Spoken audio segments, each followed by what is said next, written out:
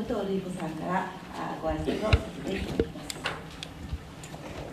す。6月の11日に第一次の国葬をしました。第一次国葬は福島県民福島県に住んでいる者それから避難をしている者各地に避難をしている者ですね。その、えー、人々で1324人の国葬団国葬団として集団国葬というものを行いました。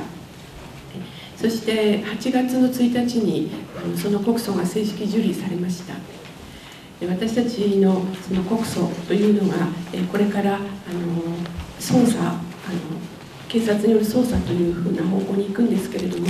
この捜査がよりきちんとしたものになるためそれから、えその捜査の結果として、きちんと起訴をしてこの原発事故の責任を正すということを確実にしていくためにどんなことをしたらいいのかということをずっと考えてきました。そして、えー、我々が考えたのは第二次国葬ということでした。日本中の人間がこの事故の責任をきちんと問いただしたいと思っている。そしてこの、えー、無責任極まりないあの事故の誰も責任を取らない在り方というものに対してみんなが怒りを持っているそういうことを、えー、世の中にきちんと知らしめていきたいというふうに思いました。そしてそのことを検察もあの重く受け止めてきちんとした捜査をしていただきたいというふうに思っています。11月の15日を目標にしています。で、え、全国に呼びかけて1万人以上の国葬人を募りたいというふうに思っています。検察官はあの役人官僚のですね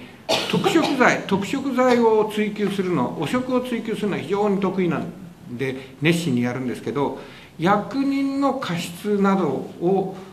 追及することについては非常に同情的っていうか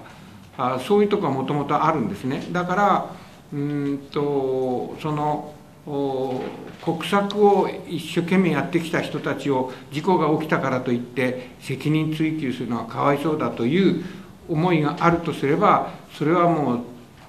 ぜひ払拭してもらわなきゃいけない。でそれを突破するものは何かっていうとですねそれはあの国民の怒りだと思うんですよ。で、えー、検察がそんなこと言ってられないなとこれはあのもう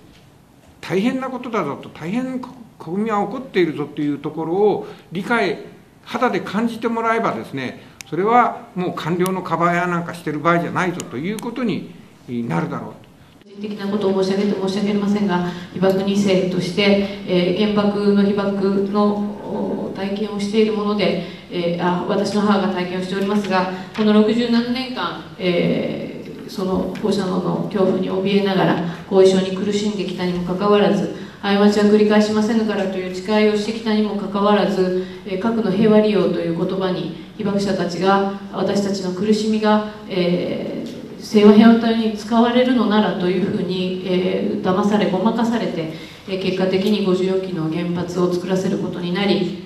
そして、えー、新たな被爆者を生み出す。今回の311の事故につながったのだということについて、えー、なぜ広島が声を上げないのかという怒りの声もいただいておりますけれども私たちがその謝罪の意味も込めてですね、えー、この国葬団に加わっていく決意をしていきたいというふうに思っています。私は、えー、震災まで千葉県の柏市に住んでおりました